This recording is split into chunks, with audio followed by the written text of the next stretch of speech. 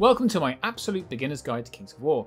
If you're an experienced wargamer or you've played Kings of War before, this guide probably isn't for you. In fact, you'll probably find it downright patronising. But if you're brand new to wargaming, miniature gaming, or Kings of War, this guide is for you.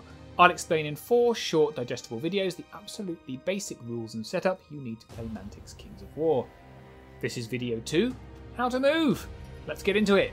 This second video is about the first phase of the game. Before we get into that, I'll explain how the game is structured. Kings of War is what's called an I go, you go game, as in the first player takes their turn all the way through, and then their opponent does the same thing. This continues until each player has had six turns. At the end of the sixth turn, the player who went last rolls a six-sided dice, and if it's a four or above, you have a seventh turn. To determine who goes first, you both roll a dice, and the one with the highest score chooses who takes the first turn. If the draw, you roll again until you get a winner. Each turn comprises three phases movement, shooting, and combat. In movement, you move your units, which is what we're covering in this video. In shooting, you use any ranged attacks or abilities your army has, including casting spells. And in combat, you resolve any melee combats that are taking place. Once that's done, play passes to your opponent, and it's their turn. Movement is a huge part of the game, as it determines what you can see, who you can attack, and more. But the principles are pretty simple. Of course, before we do movement, you want to know how to get your units onto the table, but once again, Kyle from Mastercrafted has got us covered with a great video on deployment, which you will be able to visit by clicking on this link. So once you've got the basics of movement, why not check out his video? There are seven types of movement in the game, which are halt, change facing, advance, back, sidestep at the double, and charge.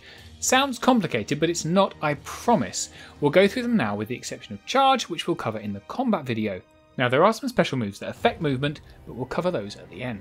Halt is the easiest because you're not doing any movement. You might choose this if you're happy where your unit is, if you can't move, or if you want to do something like shoot without penalty. We'll cover that in the next video. But basically, you don't want to move, so you halt. Change facing is next. This is where you pivot your unit any direction you fancy. Anytime you pivot in Kings of War, you move around a pivot point in the centre of the unit. You might want to do this if, like in this case, you've got an enemy behind you or in your flank, and you want to face them, or if you need to be looking in another direction. So can I move any direction? That's it, a 360 degree range of turn always around the centre. There are some things to note if you're close to other units when you're moving, but don't worry, we'll cover those in a minute. Advance is our simplest movement. Every unit has a speed stat. The speed measures how many inches that unit can move.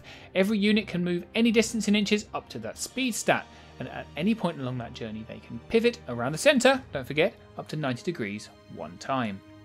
So can I split that pivot into smaller ones that add up to 90? No, you can't split that 90 degrees into multiple pivots. It's one pivot at any point up to 90 degrees and a distance up to your movement stat. So my unit has a speed of 6. So I moved 3, pivoted, and moved another 3. Perfect. So the opposite of advance is moving backwards. The difference between the two is that when you move back, you can't pivot, and you can only move backwards half of your move stat. So my speed 6 unit wants to go backwards, so I can only go 3 without pivoting? Right. Another option is to sidestep your unit. This follows the same principle as your backwards movement. You can move left or right in parallel, no pivots allowed, and it's half your movement stat. Got it. The last of the movements we're going to cover in this video is at the double. This is where your unit is marching forward at speed and so moves straight forward a distance of up to double its movement statistic with no change of facing along the way. The difference here is where there is any difficult terrain or obstacles in your way. So in this case, the table is clear and my speed 6 unit has moved 12 inches forwards. However, here there's some difficult terrain in the way. Without any special rules, our unit can move up to double its movement speed, but stop short of entering the difficult terrain because you can't move at the double over difficult terrain or obstacles. So I can move up to 12 inches with my speed 6 unit, but I stop before entering the terrain. Now that all seems pretty simple, but you probably noticed we've not covered the last type of movement, charge. That's because none of the movements we've discussed involve you getting into combat, whereas charge is how you get stuck into the enemy. We're going to cover that one in the combat video. All the examples we talked about assume the unit was clear of other units, which rarely happens, so we're going to quickly talk about what happens when you've got other units near you. If your unit is a friendly one, you can move through it at any time. Your mates essentially just get out of the way to allow you to move through. The only caveat is that you have to end your move clear of the unit. So I can move this troop at a double through the horde to stand in front of it. Right, But you can't do that with enemies. If you have an enemy in front of you, you can't walk through them. Obviously, they wouldn't let you. This also applies to pivots. You can pivot through any unit so long as your pivot lands you clear of the unit. So I can turn this unit so long as my turn finishes clear. The situation with your enemies is important. Every move you take with an enemy unit around you has to end with your movement one inch clear of that enemy unit unless you're going into combat, which means it'll be a charge. Like I said, we'll cover that in the combat video. So in this case, we don't want to charge the enemy, we do want to block them. So I move straight forward but stop an inch away. But of course, there are exceptions. Sometimes, when stuff is killed or in a bunch of other situations, you start your turn within an inch of the enemy. In that case, you definitely can move within an inch, so long as you don't get any closer than the distance you started. So here I started a turn right next to this enemy unit. So I can move my unit and end my turn no closer than I started. Perfect. Under each unit, you'll find a listing of their special rules.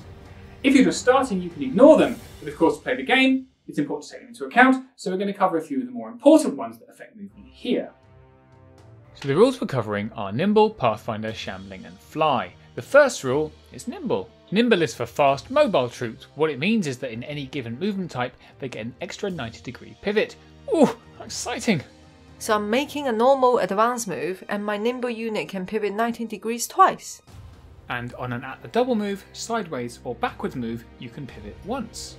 So let's say I move backwards, I can turn as well. Right, as you can imagine, this freedom of movement means you can maneuver a lot more flexibly and even dash around enemy units using your two pivots. We'll cover some examples in the combat video. The next rule we'll cover is Pathfinder. We're sticking with our Lycans because they happen to have this rule. Also, how convenient! A Pathfinder unit ignores the effect of difficult terrain. So remember we said we can't move at the double into difficult terrain?